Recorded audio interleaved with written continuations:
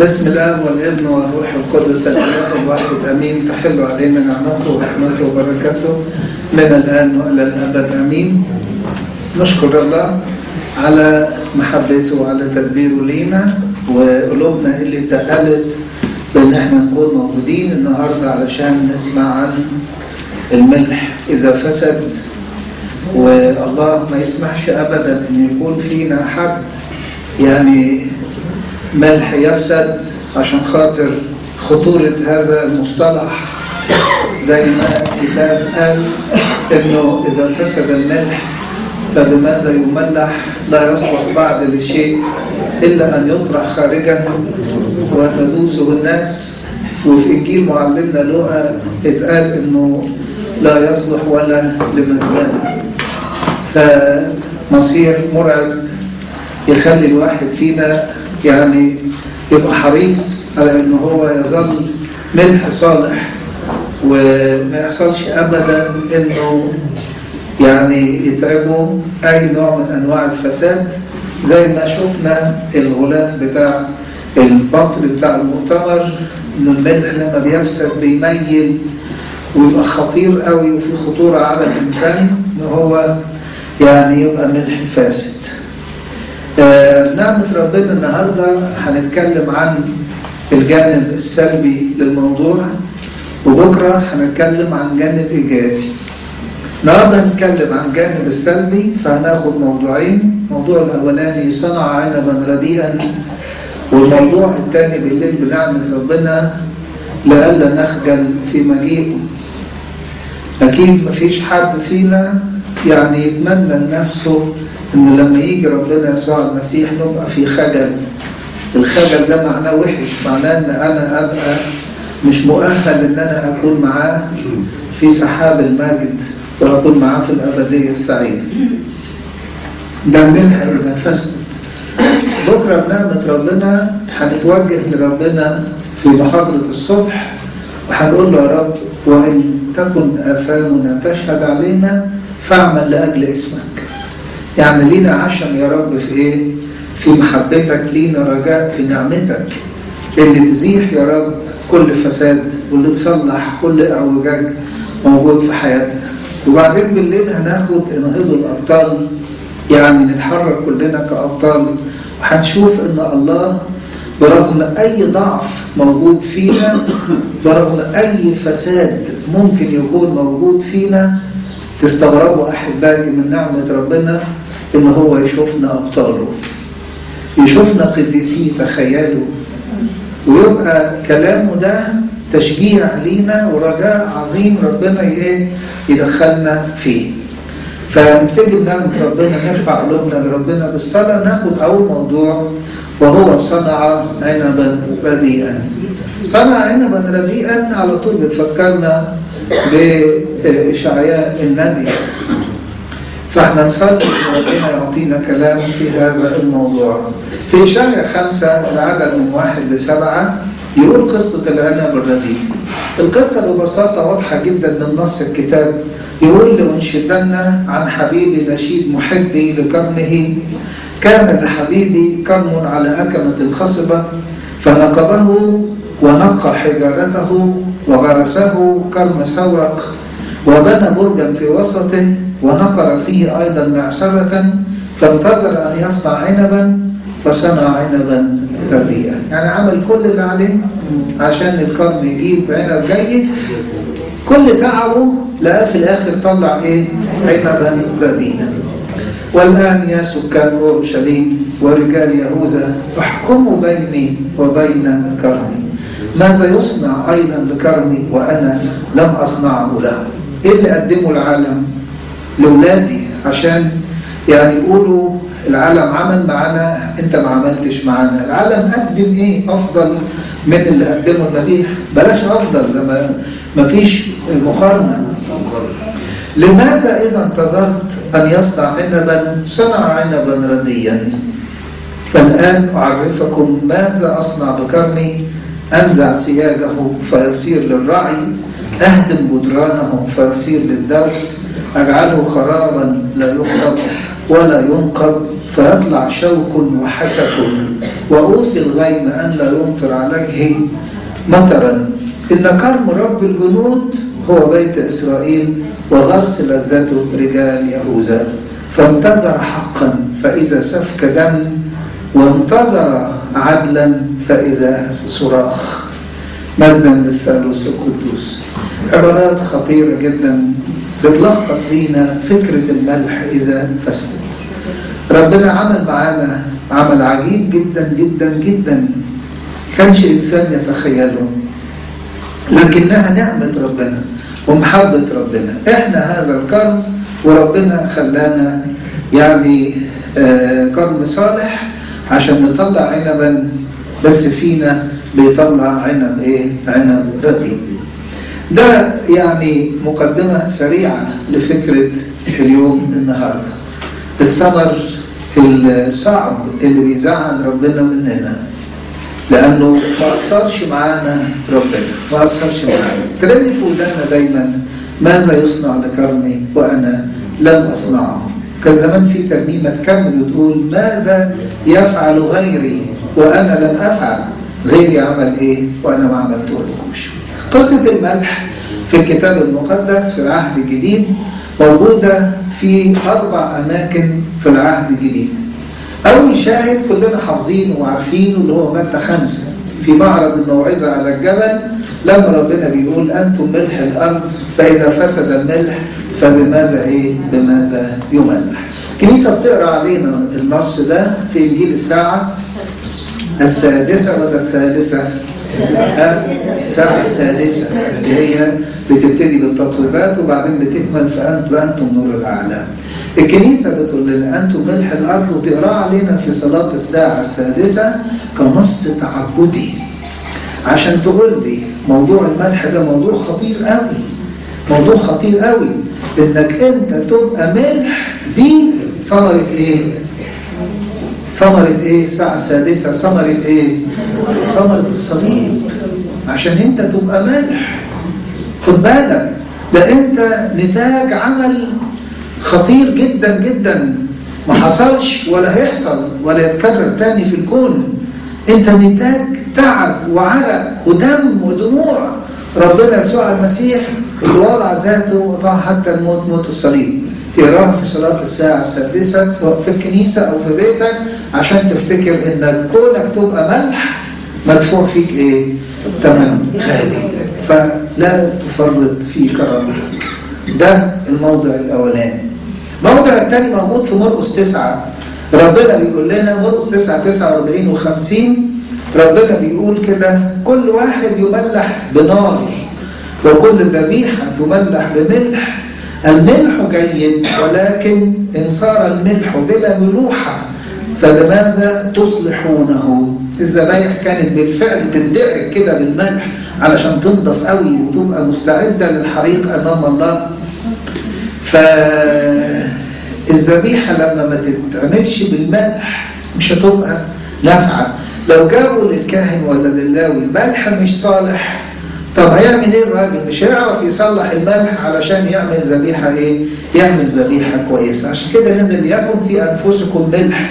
وسلموا إيه؟ بعضكم بعضا، هنا أنا مسمي ده عمل حصري للملح. عمل حصري للملح، الاولاني النص التعبدي حلو قوي عشان يعرفك إنك أنت كلك تبقى ملح ده نتاج الصليب. نتاج التعب والدم والعرق والدموع والصراع بتاع الجلجوسة وفي الآخر أنت المسيح يموت ويقوم علشانك وبيك ولأجلك عشان تبقى ملح فخد بالك اوعى تنسى النص الثاني يقول لي الروح القدس هو النار بيهيئك عشان تبقى أمام الله ذبيحة مقبولة عبادتك وحياتك وصومك وكل جهاداتك وسهرك وتعبك في الفضيلة. ربنا عايزك تبقى ذبيحة مملحة بملح يعني النعمة لمساك وأنت إيه؟ بتقدم ثمر مقبول أمام الله. إذا كان عبادة إذا كان صلاة إذا كان صوم إذا كان أي أعمال أنت بتعملها. الروح القدس يطهر وينقي ويهيئك لتكون ذبيحة مقبولة.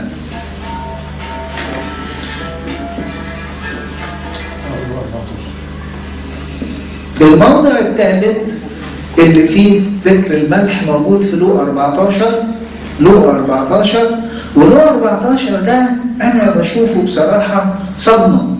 بشوفه صدمة. ليه؟ مجموعة مشيت ورا ربنا يسوع المسيح. في لوقا 14 العدد 35 يقول الكتاب كده كان جموع كثيره سائرين معه. ناس كتير ماشية مع المسيح وبصوا لقوا فجأة المسيح وقف والتفت وقال لهم إن كان أحد لا يأتي إلي ولا يبغض حسب كان أحد يأتي إلي ولا يبغض أباه وأمه وامرأته وأولاده وإخواته وأخواته حتى نفسه فلا يقدر أن يكون لي تلميذا. كلام صعب. يا رب إحنا مش فرحانين بيك. وفرحانين بالكلام وفرحانين بالمعجزات اللي بتعملها وبنشبع من إيديك وتعليمك ونشوفك كده بتميل على ده تعمل معاه معجزة بتشفي ده بتقوم ده بتطهر ده بتشفي دي من نزفة الدم وتحرر ده بكلمة منك تؤمر شياطين فتخرج. إيه ده يا رب؟ توقفنا تقول لنا تبص لنا كده وعينك بقى ليها نظرات وتقول بقى اللي جاي ورايا لازم يشيل صليب ويكره ويعمل.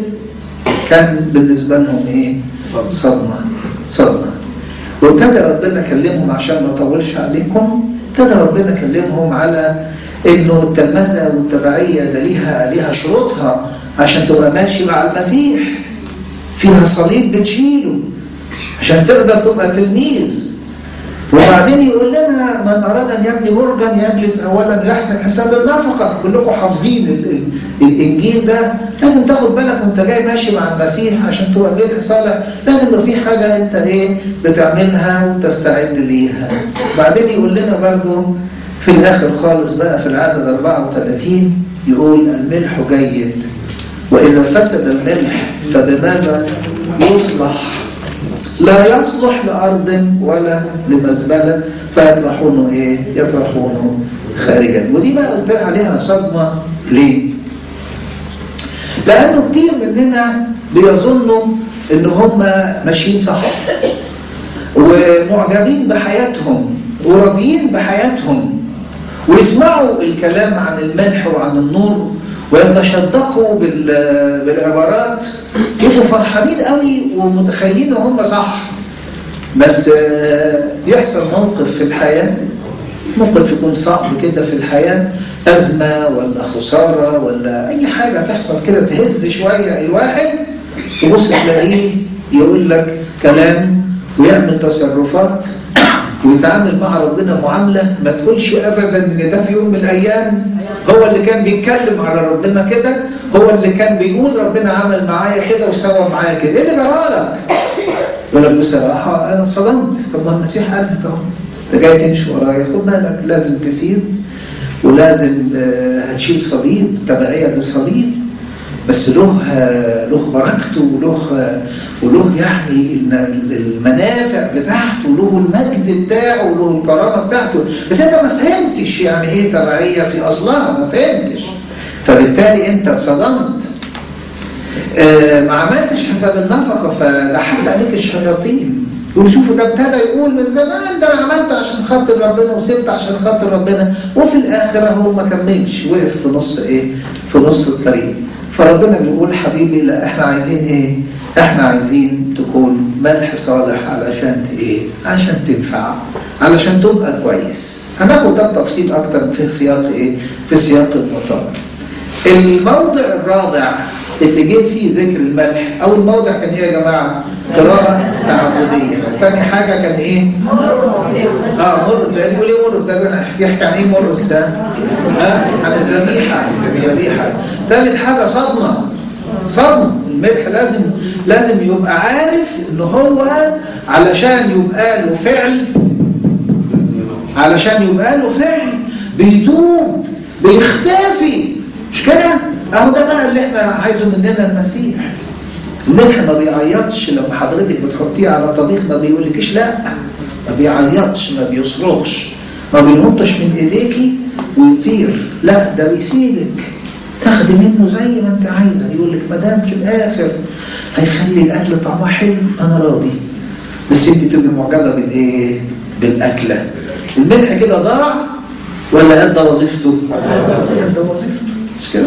انت وظيفتك بس إحنا بقى كملح أحيانا بن- بنستخسر نؤدي الوظيفه نبقى عايزين نفضل ملح بس ده لو واحد عندك الملح شوية هيبوظ يكتب على كيس إيه؟ تاريخ إنتاج وتاريخ صلاحية الحقي الحقي لاحسن والحق انت كمان لاحسن تاريخ الصلاحية بتاعك إيه؟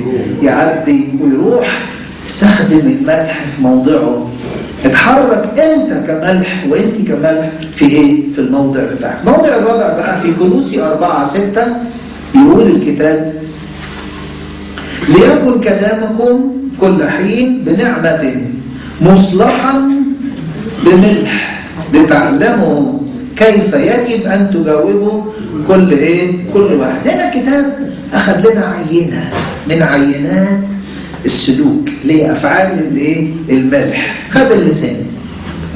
خد اللسان وخد أخطر حاجة أخطر حاجة يعني بتتعب الناس وهي إيه؟ اللسان. اللسان عشان كده معلمنا يعقوب اللي هتدرسوه في درس الكتاب هتكلم كتير قوي عن اللسان وهندرس موضوع اللسان فدي عينة من عينات الصلاح الذي يجري الملح إيه؟ الملح في حياتنا.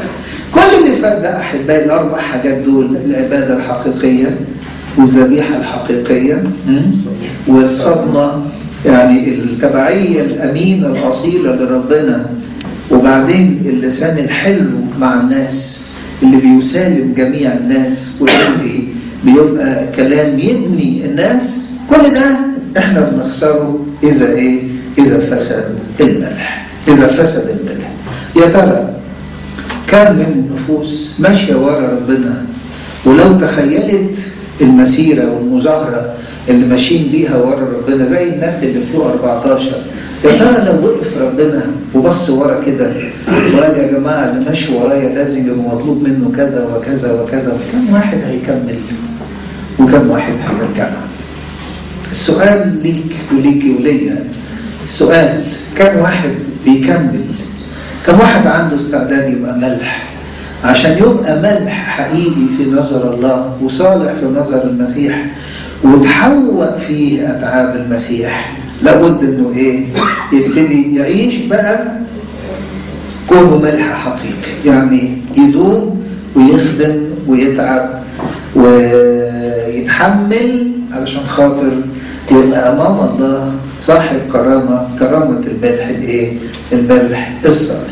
إحنا محتاجين نقف الوقفة دي مع أنفسنا علشان خاطر يعني محدش فينا يخسر عمل المسيح لأجله.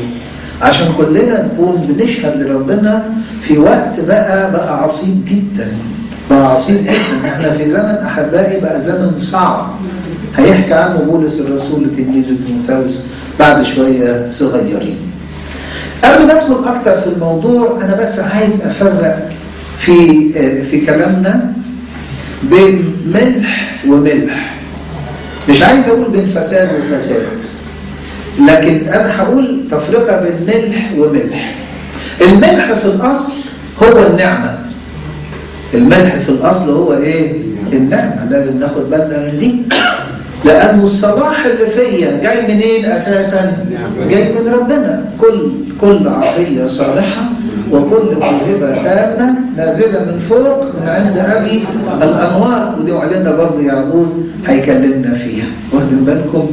فأنا الملح في الأصل هو النعمة هو عمل الروح القدس ربنا سكن فينا روحه الخاص علشان يقول أنا حطيت فيكم ملحي أنا حطيت فيكم ملحي يا ترى هذا الملح أو الملح بهذا المفهوم ممكن يفسد؟ ها؟ لا طبعا طبعا لا. الروح القدس إيه؟ لا يمكن أن يفسد حاشا طيب ده المعنى الأولاني للملح. النعمة أو نعمة الروح القدس أو الروح القدس نفسه. وده مفيش حاجة اسمها يفسد في هذا الموضوع يعني. لكن عمل الروح القدس فينا بيخلينا إحنا كمان إيه؟ ملح. عشان كده ربنا قال أنتم ملح الأرض. لما قال ليكن في انفسكم ملح كان يقصد إيه؟ النعمة والروح القدس. مظبوط؟ لكن لما قال أنتم ملح الأرض يبقى قصد إن الروح القدس هيعمل أنا فيا إيه؟ هيغيرني ويخليني أنا كمان إيه؟ ليا فعل الملح. يعني نفسي هبقى ملح. ده بحسب كلام السيد. أنتم ملح الأرض. مظبوط؟ هذا الملح ممكن أن يفسد. وانصب مصطلح الفساد على الإنسان. لأن الإنسان بيملك إرادة وبيملك حرية. يقدر يقول ربنا لا. يقدر يعيش بعكس ما ربنا عايز. يقدر يخدع كل الناس. ويقدر يخدع حتى نفسه. ويقدر يصدق نفسه. تخيلوا. ويعيش حياة الناس تقول عليه ده يعني قديس أقدس القديسين. إنما في نظر الله هو فاسد هنا بقى جاءت الخطورة. جاءت الخطورة. لأنه لما بيفسد الإنسان بيغلط أكتر من غلط. أول حاجة بيضيع نفسه. ثاني حاجة بيفقد كرامته طبعا قصاد ربنا قصاد السمائيين قصاد الملائكة. بيفقد وظيفة مهمة جدا جدا جدا وهي الشهادة للمسيح والكرازة للخلاص. زي ما التقديم رنمناها وبيبقى مسؤول عن إعصار آخرين نظروا إليه وتعاملوا معه كملح. وفي الآخر اكتشفوا إن هو إيه؟ حاجة تانية. ده حاجة غريبة الملح ده لو فسد تبقى كارثة على الإنسان عشان كده ربنا بيقول لنا احترسوا من إيه؟ إن الملح إيه؟ يفسد طيب المفاهيم اللي قلناها دي بقى عايزين عايزين ناخدها من قصة مشهورة في الكتاب المقدس جت في خدمة أليشع النبي موجودة في ملوك الثاني الإصحاح الثاني والعدد 19 إلى 22 أليشع النبي تلميذ مين؟ تلميذ إيليا النبي. كان له سكن في أريحة. لسه نازل المدينة ورجال أريحة فرحوا لما نزل إليهم إليشع وجم فرقة كانت ماشية معاه. تعرفوا على رجال أريحة. وبعدين جم عند إليشع قالوا له الحق. إيه اللي جرى؟ قال رجال المدينة لإليشع هو ده موقع المدينة حسن كما يرى سيدي. مدينة جميلة. وأما المياه فردية والأرض إيه؟ مجدبة مجدبة يعني جرداء ما فيهاش زرع بس موقع المدينة إيه؟ حسن ولكن المياه ردية والأرض مجدبة فقال إليشع ائتني بصحن جديد وضعوا فيه ملحا فأتوه به فخرج إلى نبع الماء وطرح فيه الملح وقال هكذا قال الرب قد أبرأت هذه المياه. لا يكون فيها أيضا موت ولا جدب فبرئت المياه إلى هذا اليوم حسب قول إليشع الذي نطق به. خرج إليشع بملح في صحن جديد وراح ناحية نبع المية اللي هو بيدي المية لإيه؟ لكل المدينة وخد ملح في صحن جديد ورماه في نبع المية وقال قال الرب أبرأت هذه المياه فبرأت المياه طبعا لما المياه تبرأ هيحصل إيه للأرض؟ على طول الأرض هتبتدي إيه؟ تتصلح وتطلع مزروعات يبقى الجمال من كل ناحية المدينة موقعها حسن والأرض بقت فيها زرع والمياه بقت إيه؟ بقت صالحة صالحة لإيه؟ صالحة للحياة صالحة للشرب السر فين يا جماعة؟ والسر فين؟ السر السر في ثلاث حاجات السر في ثلاث حاجات ملح صالح وصحن جديد ومين الشخصية في الموضوع؟ ليشع ليشع ربنا يسوع المسيح هو ليشع اللي بص إلى أرضنا اللي بص إلى عالمنا اللي نظر إلى حل بشريتنا وشافها موقعها حسن. إحنا موقعنا حسن. عارفين ليه؟ ان اللي عمله مين؟ عمله ربنا. الصورة الأصلية دي الصورة الأصلية اللي إحنا عايزين نرجع ليها تاني هي دي موقع المدينة الحسن بس جراله إيه موقع المدينة الحسن ده؟ بقى فاقد بقى فاقد للجمال. بقى فاقد للجمال. ليه؟ أصل المية ردية وال... والأرض مجدبة بقينا شكل بس. بقينا مدينة على الخريطة. لكن ما فيهاش مقومات الحياة. المياه ردية والإيه؟ والأرض والأرض مجدبة ودي صورة العالم أحبائي النهاردة دي صورة العالم. العالم موقعه حسن. تلاقي تحضر وتلاقي مدنية وتلاقي رفاهية وتلاقي اتصالات وتلاقي تكنولوجيا وتلاقي وتلاقي وتلاقي وتلاقي. وتلاقي مبادئ وتلاقي حريات. تحس كده إن الدنيا اتغيرت خالص. إيه اللي جرى في العالم يعني؟ إيه اللي جرى؟ إيه اللي جرى؟ لسه امبارح كنت راكب مع سواق تاكسي.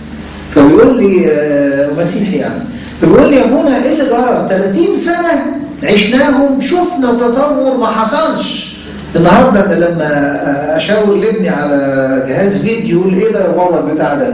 ليه؟ لأنه بفلاشه قد كده بيلاقي عليها 20 30 40 زي ما يكون ال ال ال الساعة بتاعتها عليها فيديوهات وبدل ما كتالوج تجيب لي مكتبة قد كده عليها 50 شريط لا كله بيتحط على الفلاشه واحدة.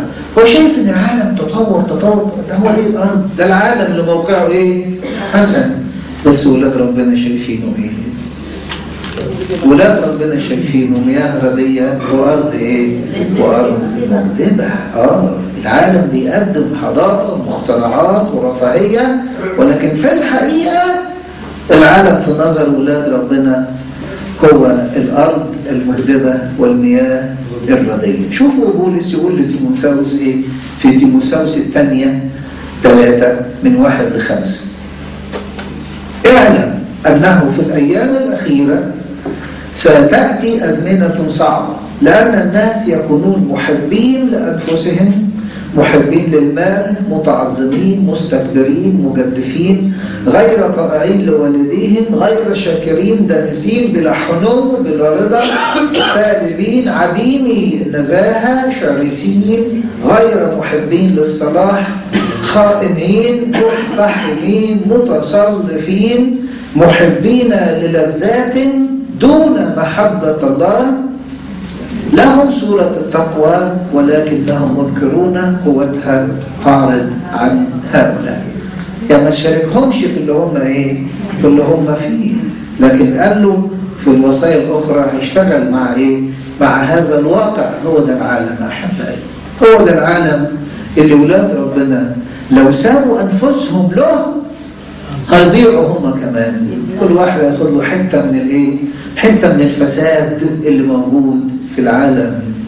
يروح دي بقى يبقى شرب من المياه الرضية شرب منها. عارفين المياه الرضية دي؟ كانوا أهل أريحة بيشربوا منها. واخدين بالكم؟ شربوا منها. طب ما تعيشوا زيهم. لا ما نعيش زيهم. يا إليشا إحنا تبعك؟ إحنا عايزين مياه تانية. عايزين حاجة بقى مياه تبرئها النعمة. فاشتغل معاهم إليشع وأبرأ نبع المياه. فإحنا برضه مش عايزين أحبائي نستحلى طعم مية العالم. مش عايزين نستحلى سلوك أهل العالم. مش عايزين يعني يبقى مرتاحين للي بيقدموا العالم.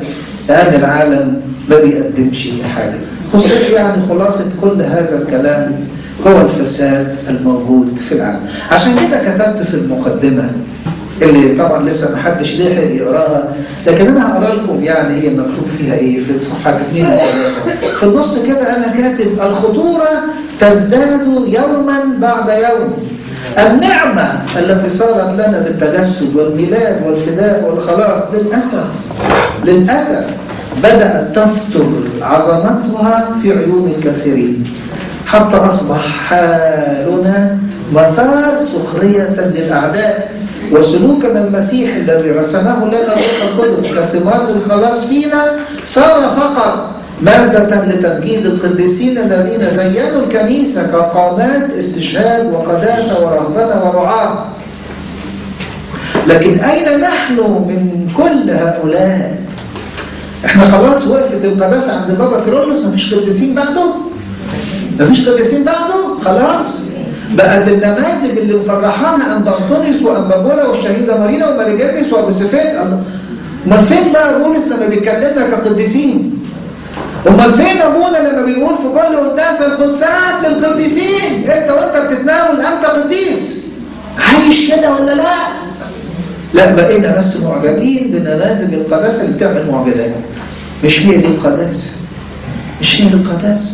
القداسة إنك تعيش ملح صالح حتى لو ما عملتش معجزات القداسة إنك تعيش أعظم معجزة إن الإله يتجسد ويموت علشانك. هي دي القداسة.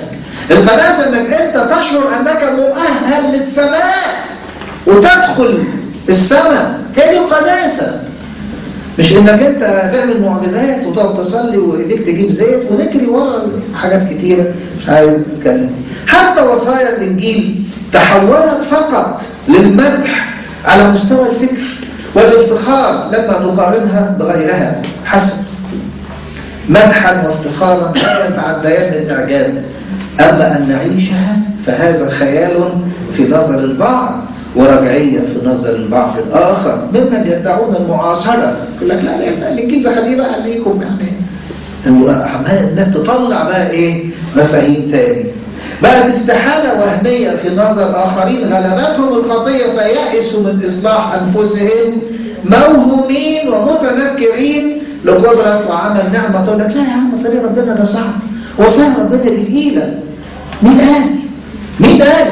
أنت اللي مش عايز تخش مش عايز تكون ملح. فبقيت عمال في يأسك أو في عنادك أو في إعجابك بحالك. بقيت خلاص بدل ما تصلح نفسك من المراية من صورتك في المراية اللي كشفتك بقيت تقول المراية لا المراية دي وحشة. المراية دي وحشة. ناقص تكسر المراية لأنها بتفضحك.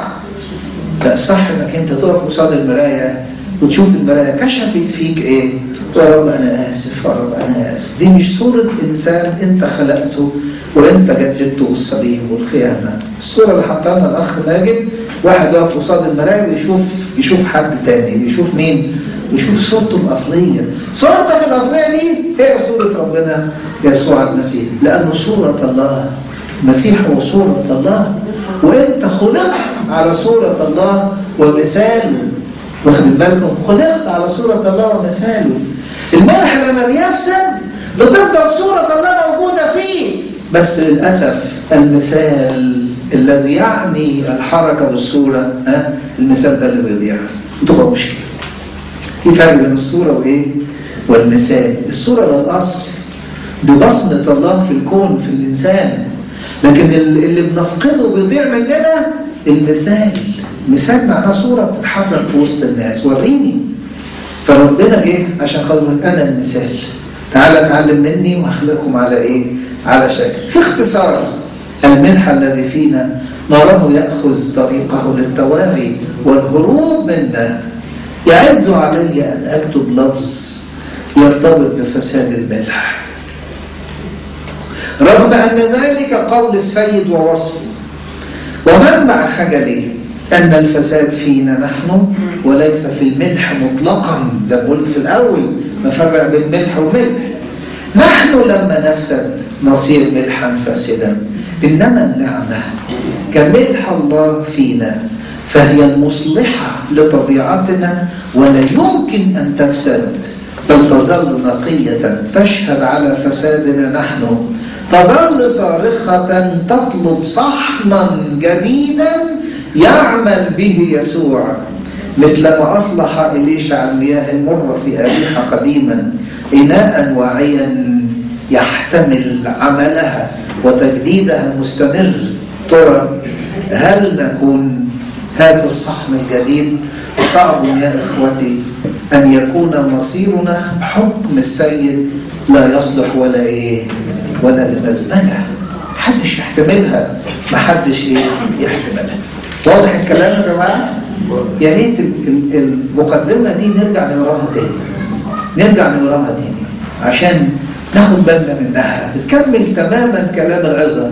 بس عشان عارف إنكم ممكن ما تقروهاش فأنا قريت جزء منها في العظة عشان نفهم إن دي بتكمل دي. تعالوا نرجع على أريحة. وناخد بعض المعلومات عن أريحة. مش جغرافيا ولا تاريخ بس حبة حاجات كده عن أريحة. في سفر القضاء الإصحاح الثالث والعدد ثلاثة بنعرف ضمنا كده مش نصا بنعرف إن عجلون ملك مؤاب لما نزل على شعب إسرائيل كان له في أريحة قصرا كبيرا لما أذل الإسرائيليين. يبقى عجلون ملك مؤاب كان له قصر في أريحة. فإذا كان العالم هو أريحة فعجلون هو إبليس. عجلون جاي من عجل يعني حد ضخم قوي يعني. إبليس بيستعرض عضلاته عليك. إبليس في وقت من الأوقات كان بطل العالم. مش سماه الكتاب رئيس هذا العالم وسماها بولس رئيس سلطان الهواء. إبليس عمل لنفسه في العالم مش قصر واحد. ده عمل إيه؟ عمل قصور كثيرة. سفر الجامعة يقول مدينة صغيرة فيها أناس قليلون نزل عليها ملك عظيم بنى فيها أبراجا عظيمة. وجد فيها إنسان حكيم مسكين نجى المدينة بحكمته بس يا خسارة ولا أحد ذكر ذلك الرجل المسكين. المدينة العظيمة دي كانت أرضنا بشريتنا نزل عليها إبليس ملك عظيم في الشر. بنى فيها أبراج عظيمة طلع أبراج الخطية الغضب والشهوات والسرقة والقتل والزنا كله كله كله طلعه والناس خلاص كل واحد ماشي لا برج كبير. هيفطسوا لو لو لو قال لأ. يروح يعمل إيه؟ يستخبى في من الابراج دي يخش يلاقي الخطية والنجاسة والزنا والكبرياء والفساد وده وده وده وده طب مين هيخلصنا من الملك الشرير ده؟ يقول لك لا في وسطهم إيه رجل إيه؟ مسكين حكيم من هو هذا الرجل؟ ها مين هو؟ سمعوني ربنا يسوع المسيح اخفى لاهوته بحكمة عجيبة عظيمة ونجى المدينة بهذه الحكمة حلو خالص الناس عملت إيه؟ يقول لك ولا أحد إيه؟ ذكر ذلك الرجل المسكين يعمل إيه بقى الملك العظيم تاني؟ يجي تاني ويبني إيه؟ يبني أبراج ليه؟ أصله كان لازم أهل المدينة يقولوا للراجل المسكين الحكيم ده خليك معانا خليك ملكنا انت حياتنا انت في إيدك خلصنا ده انت اعظم. مش كده؟ مش ما عملوش كده فرحوا بالنجاه وفرحوا بالخلاص وسابوه يروح مطرح ما راح. يعمل إيه الراجل اللي يعمل الملك الشرير العظيم ده؟ يجي تاني يبني لنفسه أبراج. الناس نسيت الخلاص ونسيت المخلص. فرجع إبليس يبني لنفسه إيه؟ أبراج. زي عجلون. يرجع من تاني يستعرض قوته على واحد غلبان مش عارف قيمته في المسيح. يرجع يستعرض قوته وعضلاته ويظهر كأسد على واحد شايف نفسه إلا شايف نفسه ضعيف وشايف نفسه مش مستاهل المسيح وشايف خطاياه أعظم من دم المسيح. يقول لك لا. ده وهم يس انت ملح. بس حصل حاجة فيك هيصلحك المسيح ارجع. بكرة هتقول له اعمل يا رب. إن كانت خطاياي تشهد علي فاعمل لأجل اسمك. هنقول ده ربنا إيه؟ هنقول ده ربنا بكرة. إبليس بنى قصور. هو لم يغتصبنا إنما رحبنا به. تحت دعاوي بقى الرفاهية والتحضر والمادية وكل بقى الحاجات اللي موجودة في العالم ومبادئ وفلسفات و... دي أبراج طبعا. لإبليس ربنا ما سابش شعب إسرائيل. جاب لهم قاضي اسمه إيهود ابن جيرة. كان قصير وكان أشول. دخل على عجلون واداله ضربة بالسيف. يعني خلاه ما ينفعش من الآخر يعني. خلاه ما ينفعش. إيهود ابن جيرة استطاع أن يدخل قصر عجلون وقهره. المسيح عمل كده. هو يهود الحقيقي. نزل ودخل بيت القوي دخل برج القوي وعمل إيه؟ يقول لك قيده وسلب إيه؟ وسلب وسلب سبياه خلانا أولاده وخلانا له ووضع في كل منا قوة روحه وملكنا سيفه الخاص. سيف يهود موت عجلون. وسيف يهود الحقيقي. ما هو؟ الصليب لا. الوصية كلمة الله حية وفعالة وأمضى من كل سيف. زي مش عشان عملت بالصليب كده يبقى سيف الصليب لا. كلمة الله حية وفعالة أمضى من كل سيف. المسيح غلب ابليس في التجربة على الجبل من ثلاث أسابيع من أسبوعين. قال له مكتوب. بس مكتوب مكتوب مكتوب. خلصت الشغلانة. تقدر تقول زي المسيح مكتوب. ابحث عن يهود ابحث عن الملح في حياتك.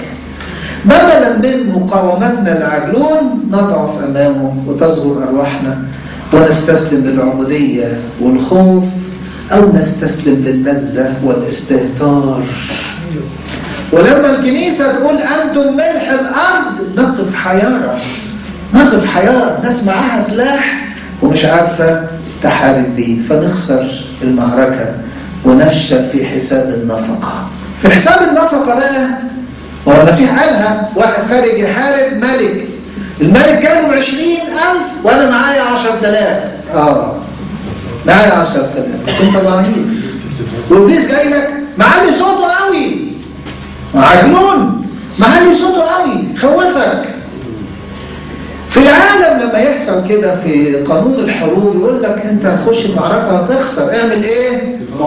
اعمل هدنة يا عم واعمل صلح يعني اخسر حاجة دلوقتي أحسن ما تخسر كل حاجة بعدين. إذا عملت كده مع أبليس تبقى كارثة. طبعا. هتروح تقول له طب أقول لك إيه؟ عشان ما تخوفنيش. ما أنا هسيب لك دي. تبقى اسيب لك دي. ابتدي أسيب بقى. ومعنى انك انت تسيب معنى انك هتسيب خالص. هتسيب نفسك خالص. وهتضيع إيه؟ هتضيع خالص. تكون الكارثة ويكون الملح الفاسد. واضحة ولا مش واضحة؟ طيب. في أريحة. ربنا يسوع المسيح قدم لنا مثل السمير الصالح. اللي جه في لقا 10 عارفينه أنتم مثل السمير؟ الناموس جه يكلمه وربنا قال له تحب الرب الهك تحب قريبك إيه؟ كنفسك اتفزلك صاحبنا وقال للمسيح إيه؟ من هو قريبي؟ فراح مديله مثل السمير الصالح. يهودي كان ماشي في الطريق النازل من أورشليم إلى أريحة أو من أريحة إلى أورشليم طلع عليه اللصوص ضربوه جرحوه ضربوه. بين حي وميت. عدى كاهن ما سألش عدى لاوي ما سألش. جه سميري صالح حنون نزل على دبته صب زيت وخمر على جراحاته وخده على الدبة وداه الفندق ووصى صاحب الفندق وترك دينارين وقال له انفق ومهما أنفقت إيه؟ أنا أنا هدعوك عشان كده أحبائي يا ترى أنت شايف نفسك وأنت قصاد وصية محبة القريب. وأنا بكلمك عن نفسك في المقدمة هتقراها أنت ملح أنت نور أنت خميرة ملح ونور وخميرة ملح بيصلح ونور بينور وخميرة صالحة بتعمل إيه؟ بتنشر الملكوت كده في وسط الناس. يا ترى في شخصيات المثل أنت شايف نفسك مين؟ الكاهن أم اللاوي؟ أم السامري الغريب الصالح. إبليس عمال يفتك بالناس.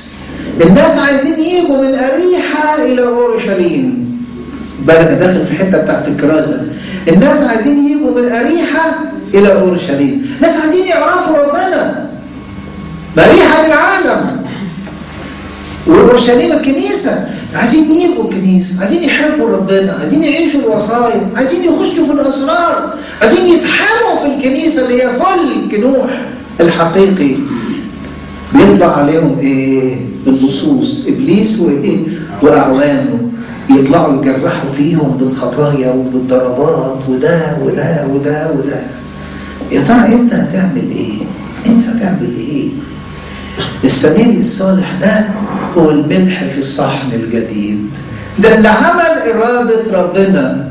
ده اللي حقق معنى المحبة للقريب وطلعها المسيح من لسان الإيه؟ الناموسي الذي قام يجربه يا ترى أنت هتعمل إيه؟ ربنا جهزنا ملح صالح. جهزنا ملح صالح. ترى انت عامل إزاي مع اتعاب الناس ومع ضعفات الناس. كلام بالاكثر للكهنة أمثالي العرة ده. كلام بالاكثر للكهنة وللخدام والخادمات كل إنسان بيتعامل مع إيه؟ بيتعامل مع الناس. ربنا موجود وعايز يعمل مننا سميري سميري صالح. شوفوا اسم للقديس كيرلس الكبير اسمها يا حمل الله.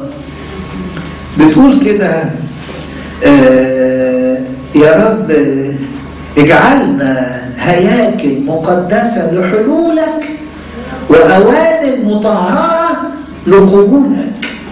مطلعها يا حمل الله الذي بأوجاعك حملت خطايا العالم. اغسل أدناس خطايانا يا رب اجعلنا هياكل مقدسة لحلولك وأوان مطهرة لإيه؟ لقبولك. يعني وأنت بتتناول أنت بقيت الصحن اللي فيه ملح جديد أو بقيت صحن جديد فيه ملح تجدد كمان النعمة تجدد نفسها جواك. ولا انت بتقول له روحك القدوس جدده في احشاء كلمة وبتعدي تناول اللي خدته انت بتخرج بيه كأنك اليشع ماشي ومعاك ملح في صحن جديد يا ترى الناس بتقابلك بتشوف على وشك نعمة ولا لا؟ بيتغيروا برؤيتك ولا لا؟ وانت حامل للفضيلة. ولا بقينا حاجة تاني؟ بقينا حاجة تاني. الملح إذا فسد في عصر السيد المسيح كانت تسكن في أريحة فرقة كاملة من الكهنة ومن اللاويين عشان يبقوا قريبين من الخدمة في أورشليم. والطريق الطريق من أورشليم من أريحة إلى أورشليم كان فيه بيعدي فعلا ناس كتيرة من الكهنة واللاويين عشان كده تلاحظوا إن المثل ذكر ببساطة خالص إنه عبر كاهن وعبر إيه؟ وعبر لاوي. أنا وأنت بقى هم دول المفروض إنه يختفي فينا يسوع. ولا ينبغي أن نتجاوز الجريح اللي بيصرخ على الطريق. لا. خلينا نتبنى بقى إيه؟ مسلك الملح الصالح إنه نبقى عاملين زي السميري الإيه؟ السميري الصالح. السميري الصالح. يعني أنا لما الكاهن عدى وسابه وراح يصلي في الهيكل أو لما اللاوي عدى وتجاوى أو جاز مقابله وراح يجهز للكاهن الذبيحة يسلخها له ولا يعملها له. ما كان المسيح يقبل مثل هذه الخدمة؟ صح. ما كان المسيح يقبل مثل هذه الخدمة. وأنا وأنت وأنت حينما نعبر حينما نعبر على ضعفات الناس وخطايا الناس واحتياجات الناس اللي بيصرخوا واقف أصلي وأقدم ذبيحة وأعمل كذا. ما كان للمسيح أن يقبل مثل هذا؟ إنه الملح إذا إيه؟ إذا فسد. أخاك يحتاج منك المعونة وأنت تتعامى عنه. ما ينفعش تعمل كده. في أريحة سكن زكا. في لغه 19 مسيح يزور بيت زكا وزكا يتوب توبة جبارة. ملح المسيح فينا. يجعلنا نبكي على الخطاة الذين يسكنون أريحا. ملح المسيح فينا يجعلنا نبكي على الخطاة ونسعى لتوبتهم قبل فوات الأوان. روح وخد معاك المسيح. اقبلهم ما تعملش زي الناس اللي راحوا مع المسيح في المظاهرة وبعدين أول ما لقى المسيح داخل بيت زكا يبدأوا إيه؟ ينتقدوا عمل المسيح. اوعى تنتقد عمل بيعمله ربنا يسوع المسيح؟ ساعتها هتنتقد المسيح وتدينه وتدين الخطاة؟ وهتخسر خالص وتبقى الملح إذا فسد. في أريحة شفى يسوع بارتيماوس الأعمى ورفيقه. لما صرخ يا ابن داوود ارحمني. يا ترى أنت هتعمل إيه؟ وأنت ملح. هتعمل إيه؟ هتقول له اخرس واسكت. ما تزعجش السيد سيبه ماشي في فرحان بالناس. ولا هتقول له ثق أنه يناديك. ثق شافك جاي جاي لك. اهدى. هتعمل إيه؟ الملح الفاسد يروح يقول له اسكت. عايز المسيح لنفسه بس لنفسه بس. أنا مش عايز هيصة تزحم المسيح أنا عايز أتمتع بالمسيح قدر امكاني طب والناس التانية ما محتاجة المسيح؟ ما بيصرخ يا ابن داود ارحمني. اتحرك اتحرك مع إيه؟ مع الناس. وبشرهم بالمسيح الذي يسمع الصراخ. الذي يمكنه أن يمنح البصر والبصيرة والنعمة ونور في القلب. أي ملح أنت وأنت تتعامل مع هذا الواقع. وعايز أقول لك حاجة كمان. يمكن بارتيماوس الأعمى ده كان بيصرخ من عاهة خارجية. ده في ناس مفتحين وحلوين بس جواهم عاهات داخلية. واقعهم بيصرخ حالهم بيصرخ منظرهم بيقول. خلي عندك إحساس باللي جوه باللي جوه الناس. مين يشعر بهؤلاء؟ يشعر بيهم الملح الجيد. يشعر بيهم الملح الجيد. اللي مايل على واحد يقول له أنت شكلك تعبان. انت محتاج حاجة يقول لك عرفت منين؟ عرفت منين؟ يا منى انت عرفت منين؟ صدقوني انت عرفت منين.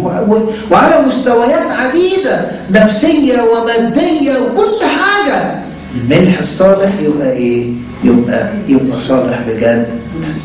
هذا أحبائي هو الحال ونحن في التحدي الذي يواجه أولاد الله. كل أولاد الله كهنة ورعاه وخدام وتلاميذ وتابعين ومؤمنين عالم قد صار أريحا. الأرض المجدبة والمياه الردية برغم موقعه الحسن برغم الجمال الذي فيه برغم الرفاهية والتقدم والمعجزات المعمارية اللي موجودة في العالم للأسف بقى مرتعا لإبليس وللصوص وخليقة الله ضربتها الخطية من جديد. ضربتها الخطية من جديد وأصابت منها مقتلا. أنا كاتبها بالحرف. أصابت منها مقتلا. هذا بمحبة المال والقسوة مثل زكا.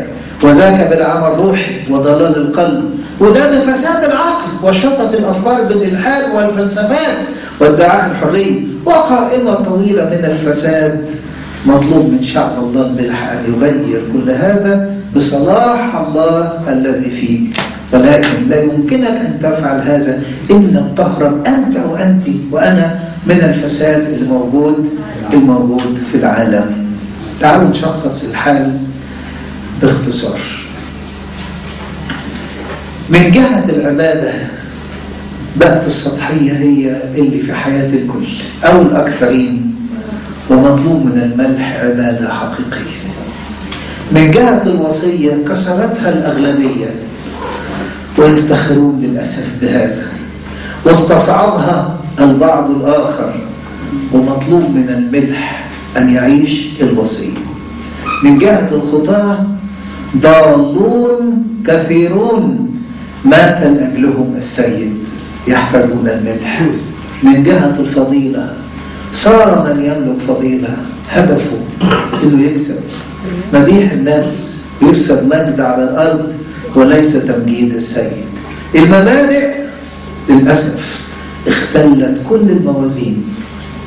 اختلت كل الموازين. التوجهات للأسف سلبية غطت كل حاجة. والهدم لا البنيان صار المسار. من جهة الكرازة العالم امتلأ بالشر والدنيا اتملت كلام. الدنيا اتملت كلام. كلنا في الموبايلات بتاعتنا أنا شخصيا بيجي لي كل يوم حوالي مثلا من 10 ل 15 لينك العظة. وكل عظة مثلا ساعة ولا ساعة وربع ولا طب أنا هسمع إيه ولا إيه ولا إيه ولا إيه؟ أنا عايز أعيش. عايز أتغير. عايز أتغير. عظة واحدة زمان جابت للمسيح 3000 نفس. بطرس النهارده 3000 عظة. بتجيب كم نفس للمسيح؟ العالم امتلأ بالشر والحديث عن الخلاص صار عظات بالآلاف دون تغيير. العالم يدمر نفسه ولا أحد يبكي عليه. عشان كده مهم جدا نعمل زي رجال نعمل زي رجال أريحة. عملوا إيه رجال أريحة الحلوين دول؟ جريوا على مين؟ الحق يا معلم الحق الحق. المدينة موقعها حسن بس المياه ردية والأرض مرجبة فرح بيهم إليشع رفضهم روحهم هاتوا لي بسرعة. ملح في صحن جديد. جابوا ملح في صحن جديد بإيجابية شديدة بسرعة حركة مش بكسل مش بتراخي. مش بلوع مش بعدم طاعة. كل ده يساوي الملح فاسد. خد بالك اللي اتحط في الصحن الجديد ده مش ملح جابه كل واحد من عند البقال ولا من المطبخ بتاع مرات؟ لا ده كل واحد جاب قلبه. كل واحد جاب دماغه. كل واحد جاب فكره. كل واحد جاب مشاعره. كل واحد جاب اهتمامه واحد جاب حبه واحد جاب اشتياقاته. حطها له في صحن وده اللي صلح إيه؟ ده اللي صلح المية. محتاجين نعمل كده اعملوا معروف عشان خاطر يخرج المسيح من جديد ويجي من تاني ربنا ويلاقي له مكان في وسطنا ويتقدم بينا بينا ملح في صحون جديدة. يتقدم بينا ويصلح إيه؟ ويصلح العالم. أنا خدت نص العظة المتحضرة بس. فاكتفي بكده وإذا كان يسمح ربنا بوقت تاني أبقى أكمل معاكم. ماذا لو كان رجال أريحة راحوا بكسل وتراخي و و أنا قلتها دمجا كده عشان ألمح بس للملح الفاسد؟ لكن هم راحوا بنشاط راحوا إيه؟ ملح صالح. أرجو إن أنا أكون دخلتكم في موضوع المؤتمر ببداية واضحة ها؟